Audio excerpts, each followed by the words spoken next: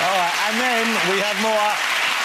My next guest is one of America's finest actors. He's starred in so many fantastic movies from uh, Gangs of New York and with Will Ferrell, he was in Talladega Nights to his Oscar-nominated performance in Chicago. Now, he nearly didn't make it here tonight as he's suffering from the norovirus. Ladies and gentlemen, we won't be touching him, but we're happy to have him with us. Mr John C. Reilly. Look at that. Bravely, thank you for making it in. I know how awful it is. Happy to be here. It's a horrible thing. When did it kick in? Uh, this morning, I actually I can't believe I'm here. If you if you saw the condition of me this morning, wow. Is the phrase "the sluice is opened at both ends" wow. mean anything? anyway, I'm here. Very happy to be here, and uh, and if I can get through without making sick. Well, then, you know uh, what? If you do have to make sick, or if the sluice has to open at the other end, do it there in the green room. Oh, okay. John C. Reilly, ladies and gentlemen, I'm thrilled he's on the show. Thank you for coming, John. Great to have you here. Hey.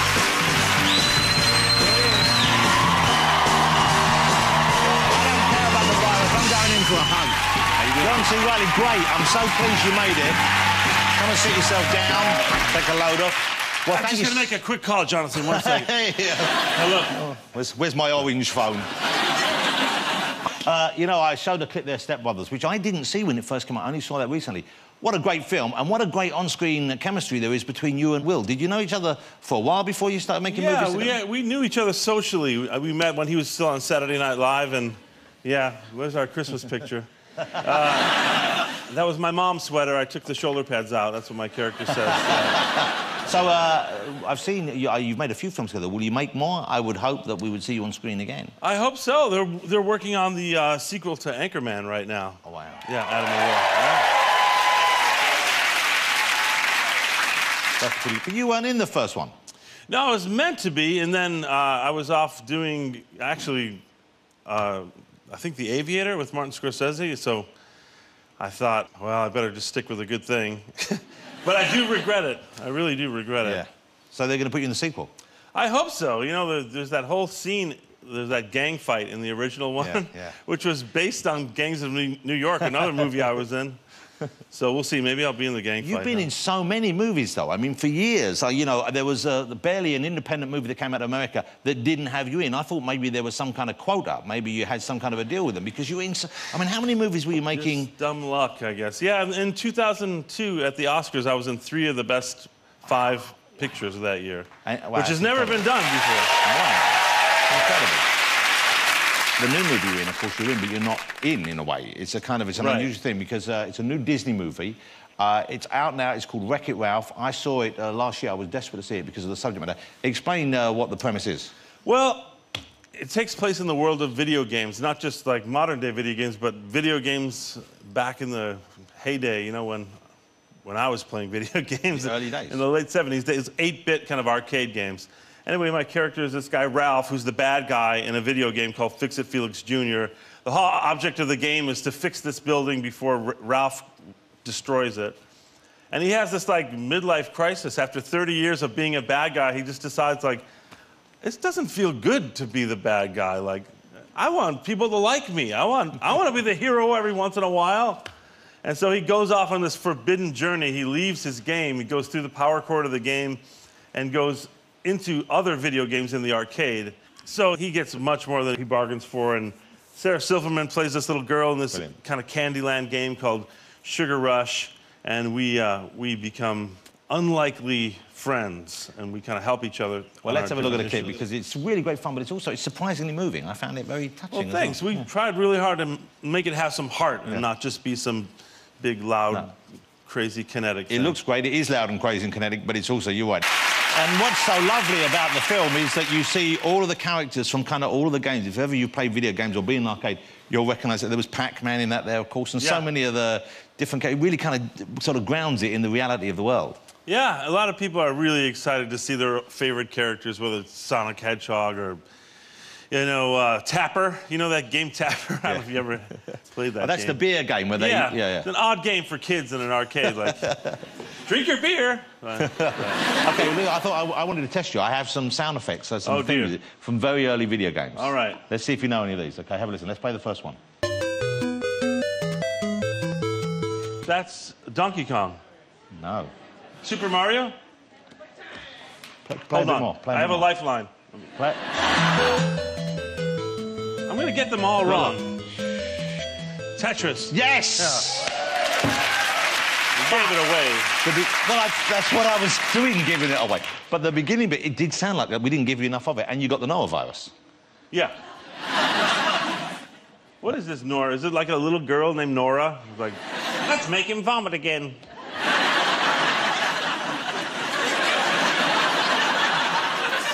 Have a. It just so puts such a personal name, Nora. No, it's not Noah. It's It's, the- Noah. It's not Noro? Noah. Oh, it's oh, not oh. Noah's virus. It's the Josh virus. it's the Henry virus. Okay, let's go. I'm enjoying this gun now. Let's have some more of this.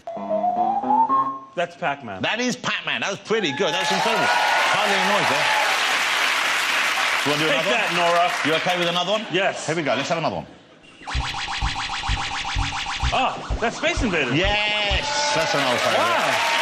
I do know this stuff. Are there prizes given out for this or something? Yes, Like- you will win a banana which has been infected with the Noah virus.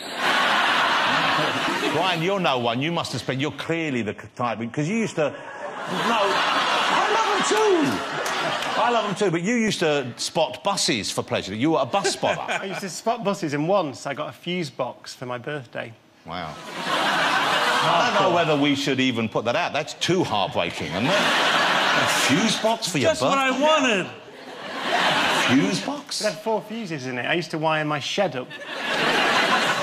It wasn't on a list you put out, was it? You didn't actually ask for it, did you? I did. I asked for a fuse box. Oh. I think I asked for an, eight, an eight-way, but you know, you can spoil a child. Yeah, anyway, that's it. Okay. okay, well, let's see if that fuse box worked well enough to power a video game. Let's have a listen. We can do one more. Anyone in there who knows this one? You ready? Let's play it. Sonic the Hedgehog. Wow, Hayley got it straight out the. How did that happen? Where's it- Where was even finished? Did you get it? No. So, John, when John comes over, this is something I admire about you. You make these uh, trips fun for yourself. You come over to do press. Hopefully, you quite enjoy the experience of that. Hopefully, Yeah. you enjoy the So fact far, we, so good. we made you sit here with This, flu and this talk. morning, doing one interview after the other where I wasn't sure if I was going to spew was not that fun, but this is great. But the reason why I think so is you come over, you, you always perform. You bring your band or you, you hook up with the band and you perform over here? Yeah, you know, I realized at some point, like, I can bring whoever I want, you know, rather than bring a hairstylist, which is important for me. Uh, I decided, like, I have this band. Why don't I bring my friends with me? We do do shows. I have done a few here in the United Kingdom, and- and we're going to do one more in Glasgow on Tuesday night at St. Andrews on the Square. And this is what, your own music or R&B covers, that kind of thing? no R&B. It's uh, old traditional music, old folk music. I thought you might do a bit of R&B. Hey, I've know. got some R&B in me, Yeah, but just not with this band.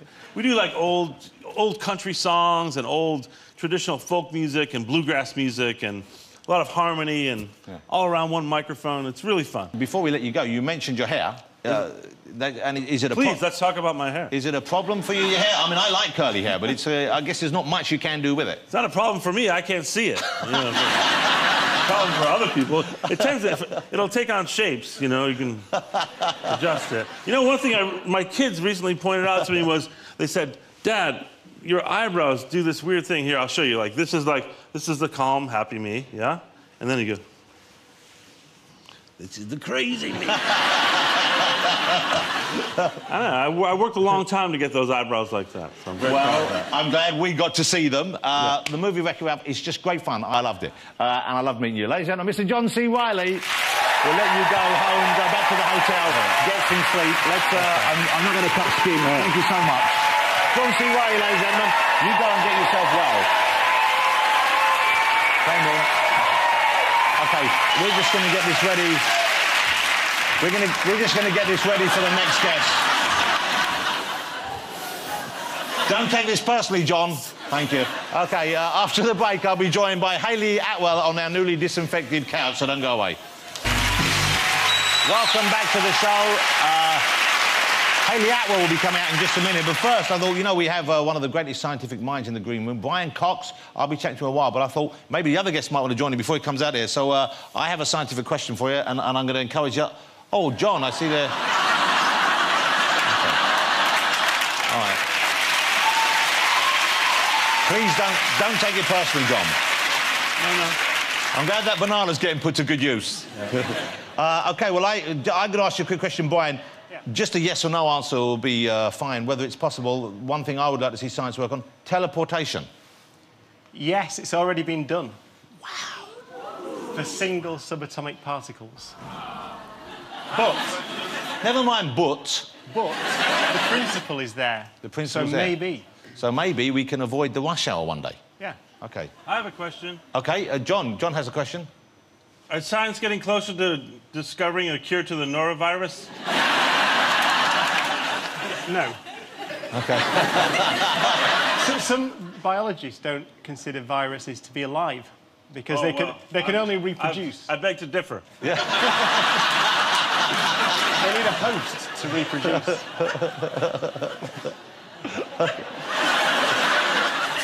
This looks like a, a really weird nature show there. Like you're observing. I don't, I don't know who's watching who. hey, uh, we're going to let him go home, ladies and gentlemen. It's been a great sport. Let's hear it again for John C. Reilly. I'm John, running thank out you of so air. much. There you go. Go on. I won't touch any of you. Yeah, you see. Take care.